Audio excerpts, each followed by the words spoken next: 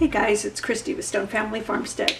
So today we're going to talk about making uh, melt and pour soap. But first, um, I want to share with you that I am not an expert. This is not something I normally do, but I do make um, hot process soap and have done that for years. And so uh, a melt and pour soap is a lot easier.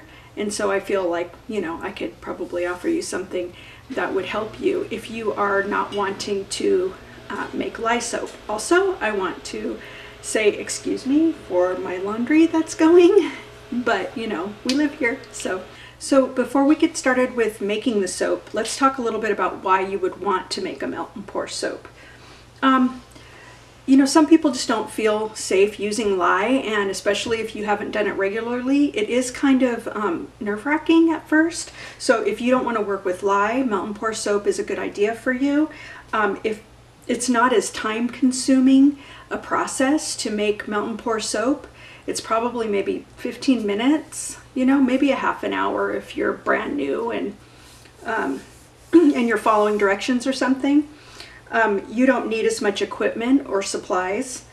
Um, you wouldn't need lye and you wouldn't need, you know, all the separate oils and milks and whatever, you know, it is that you uh, would use just to make a base soap.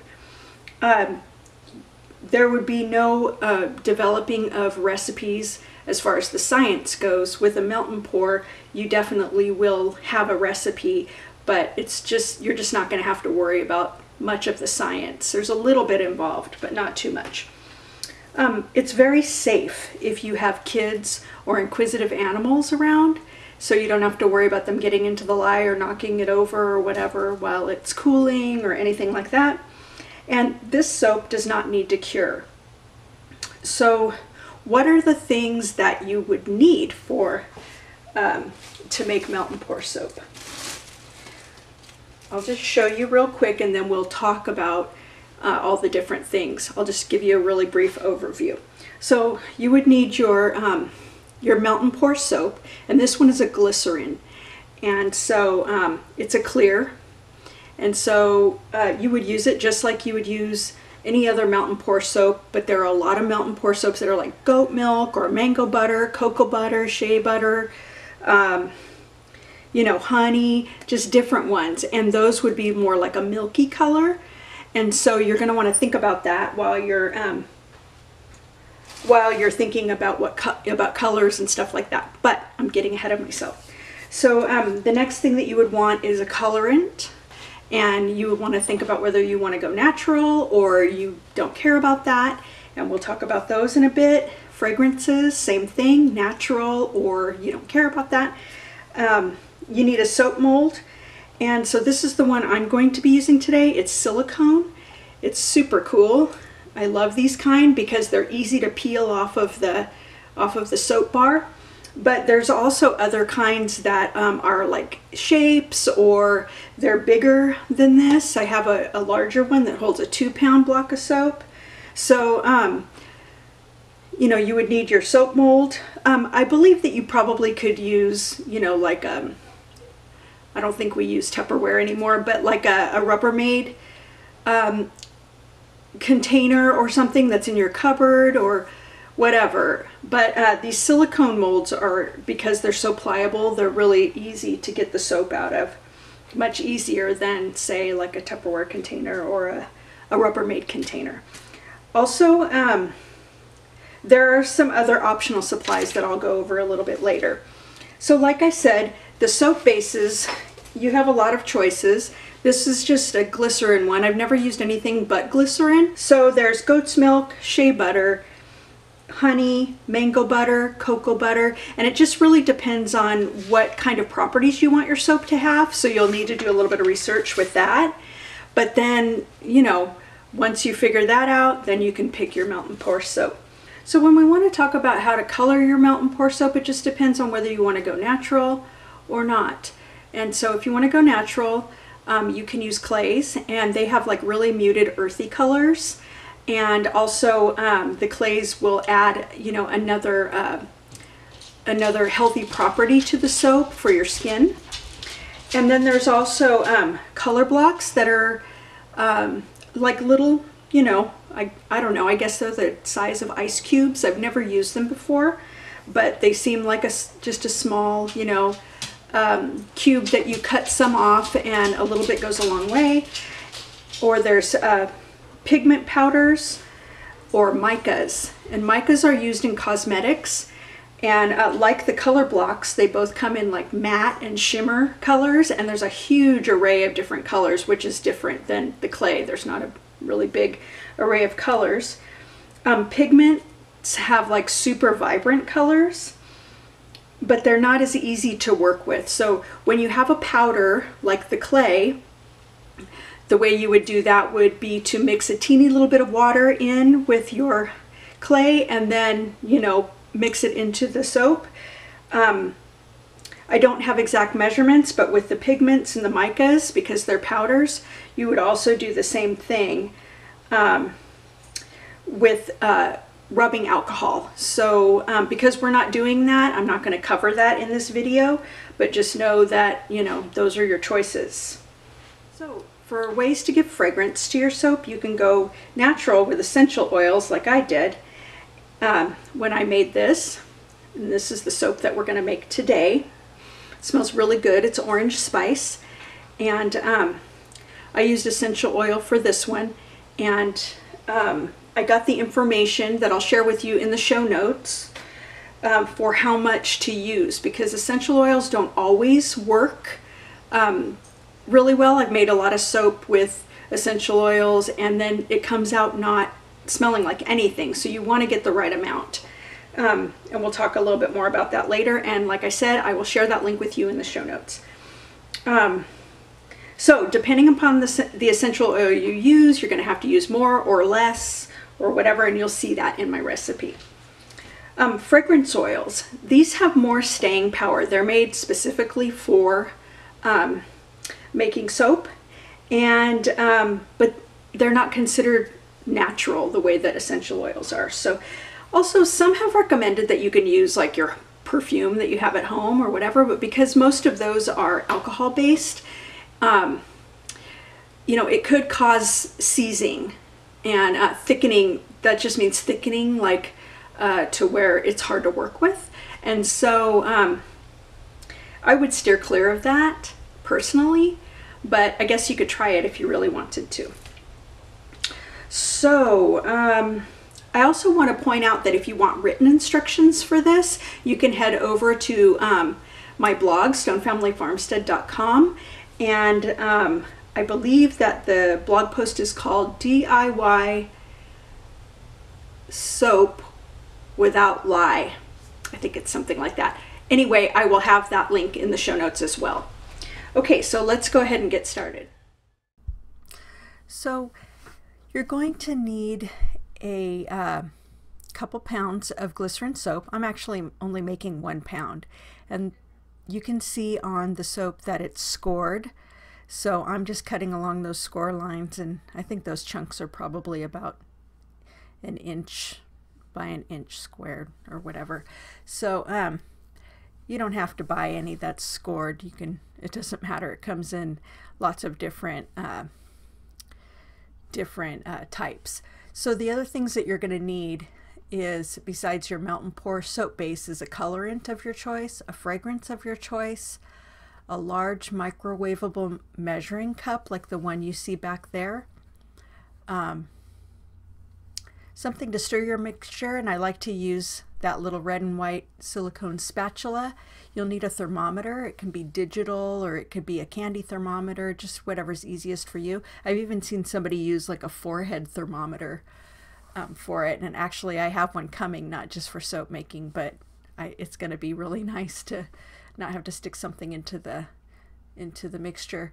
Um, You'll also uh, do really well if you get a digital scale. They don't have to be expensive. I think they're under 10 bucks. Um, you'll need a soap mold, and I believe I showed you that before. Silicone works best, but the other household options can be used um, if you want to just get creative. And then you want something to cut your finished soap into bars. I'm putting the melt and pour soap into the microwave for the first minute, and I will be adding annatto seed powder to the mixture soon. Okay, so here's where I took it out after the first minute. And if you stir it around after the first minute, you could see it melting. It's continuing to melt as I'm stirring and getting looser and looser, but it's still going to need a little bit more time in the microwave. But I'll just stir it a little bit here and there, and then I'll put it back in for 30 seconds. So this is what it looks like after it's been in for 30 more seconds, and it looks like there's a couple of ice cubes in there. Um, and I'm just going to stir it around a little bit more just to see if I can get it to melt on its own. I really don't want my mixture to be too hot, but I do need it to be completely melted.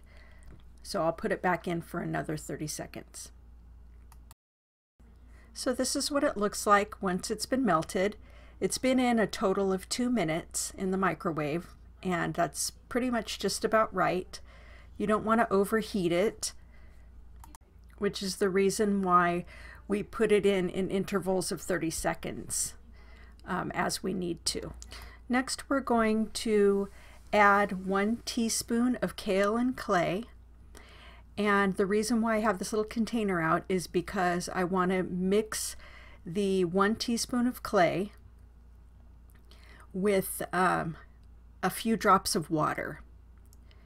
And so you'll be able to see what that looks like when uh, once I've mixed it and how well that mixes in. That way you're not mixing a um, powder into the soap. So I only put like about one teaspoon of water in there. Oh, and so um, it kind of went all over, didn't it? I didn't realize that as I was shooting. But at any rate, you only put just a tiny bit of water in there. And um, using your spatula, just go ahead and pull that all into your mixture. And the reason why I added the kaolin clay is not really because of the properties, but I actually kind of wanted my uh, soap not to look see-through. I kind of wanted it to be more white. And uh, I only just didn't know that when I first bought the uh, glycerin soap. I kind of wish I would have had um, one of the more milky soaps, but that's the reason why I added the kaolin clay. But there are good properties to it for the skin, and so why not? The next thing we'll add is our colorant. I'm using annatto, annatto seed powder, and I'm using a half teaspoon, and that's for a pound. And I'm just putting the powder right in there, and I'm doing that for a reason. Um, normally, if you wanted like a smooth color, you would um, maybe mix it with water or in the case of micas and um, and the and other uh, powdery colorants, you would mix it with uh, rubbing alcohol. But I kind of want a few speckles in my soap, and so I'm kind of hoping that that's how it turns out. So already it's a pretty it's a pretty orange color, and um, the aroma will be orange spice. So um, I think that's going to go really, really good with this color. And so I'm just kind of um, smashing the big pieces up along the side. And um, there's a couple of bigger clumps still left, but like I said, that's okay. It's kind of how I wanted it to look. At this point, it's time to measure the temperature. And I'm using a digital thermometer, one from my kitchen. I don't really recommend that, but um, it's the only one that I had right now that I uh, thought was um, accurate. So I'm using it, and because it's not lye soap, I'm not too worried about it. So, um, or since I'm not using lye, I'm looking for a temperature between 120 and 130. And um, this one looks a little too high, so we're going to wait a little bit longer for it to cool off. Okay, we're going to measure it again. It's been sitting for probably about 10 minutes. and we're looking for 120 degrees, but I think it's better if it's between 120 and 130. The reason for that is because um, the essential oil that I'm using could cause it to seize up a little bit. And um, it's not always the end of the world when that happens, but you kind of don't really want that to happen. So it looks like it's kind of slowing in temperature. And so it might be a little too cool, but I believe it will probably get to 120. And once it does, um, we can go ahead and mix the essential oils in.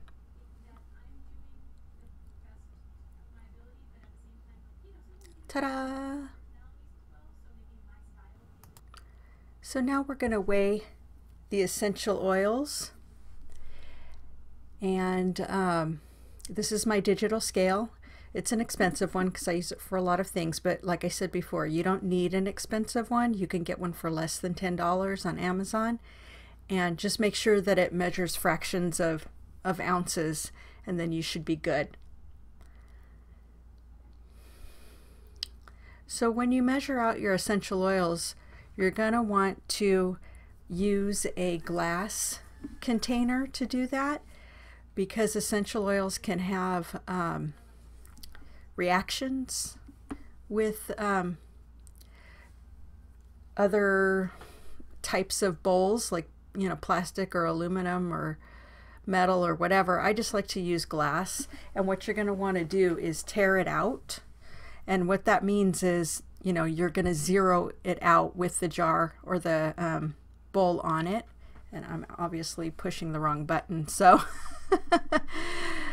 but you see on the left yeah, I'm going to zero it out. Okay, so now I'm going to mix the essential oils. And um, what I need to do is to add, I'm adding orange oil. And this is a um, a cheaper brand. It's not my favorite. I wouldn't really use it, you know, for um, therapeutic reasons but it smells really super good and it's really inexpensive and I think it'll be really good for to use for soap. Um, also really economical. So um, I'm going to go ahead and pour it and I don't know, for some reason it makes, it's really hard to pour out of these bottles. I don't know why, but um, just be careful when you're pouring yours. And I'm going to need 0.8 of a an ounce for this. And um, I believe I mentioned before that there's actually a chart that I used that uh, someone who went before me and uh, is more experienced than me wrote up, and I will put that in the show notes um, so you can see uh, why I chose what I chose. Well, it's, I mean, I chose it because somebody else told me that this was the right amount, so I'm just going to go with her. And then um, you know, use that information. And so um, next I'm going to be adding clove oil. And so this one's a really super volatile oil, so we're going to use just 0.08, but since it doesn't do that smaller fractions, I'm just going to add, you know, until it gets to 0.9. There we go. And so if you've ever put um, cloves inside of an orange, like at the holidays. It smells really, really good. And so this is what that smells like. So it's going to be time now to add the essential oils to the soap itself. And it looks like it got a little bit thick just by sitting. I probably should have um, measured out the oils earlier, but that's not what I did. So I'm going to go ahead and make sure that we've got the right temperature again. And it looks like we were a bit low at 117.6 and you can see how the soap is already uh, becoming thick and so this is not a great sign.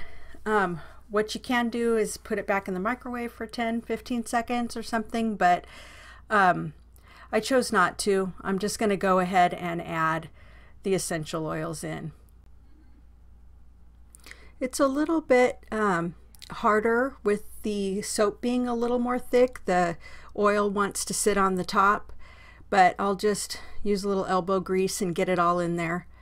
Hopefully I won't spill too much out of the container. But um, it is much easier to get it mixed in when the uh, soap mixture is thinner or warmer.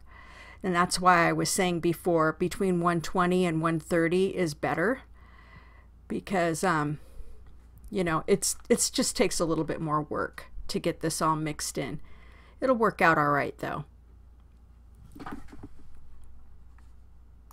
So now that that's all mixed in, we're going to go ahead and get it into the uh, the silicone mold. And you can see that it's really gotten really, um, really hard as I was mixing that up. And that could be because there's sort of a reaction with um, the essential oils, you know, may have had a reaction with the soap. Um, so I went ahead and put it back into the microwave just for a few seconds and it doesn't look like it's getting any better. But that's okay. That's okay.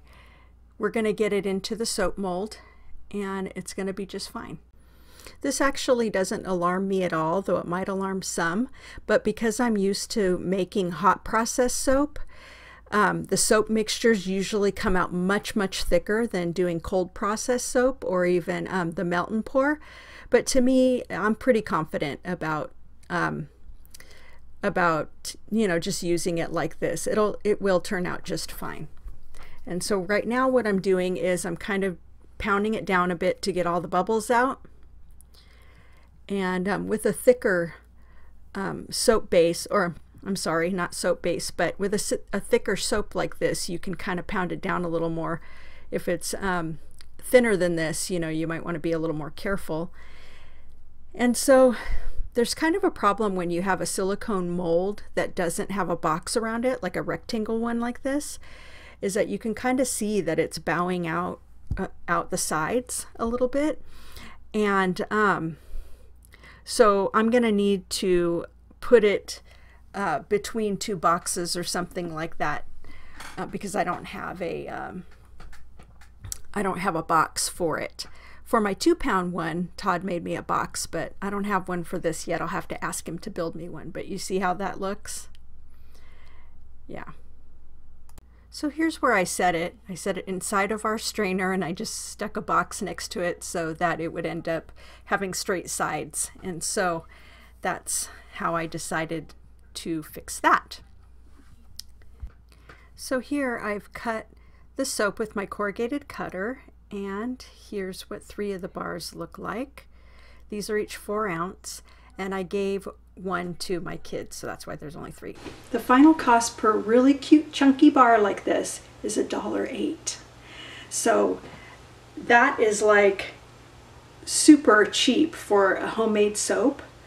Um, if you're used to buying soap at the store, it's not really going to compare, but if you want to use handmade soap, you can make this for a dollar eight per bar. And if you're going to use it for holiday gifts, if you had a couple of bars tied together with a cute ribbon and uh, packaged with a, a wash rag or two, that would be definitely come under $5 for a nice gift. So it's a good consideration.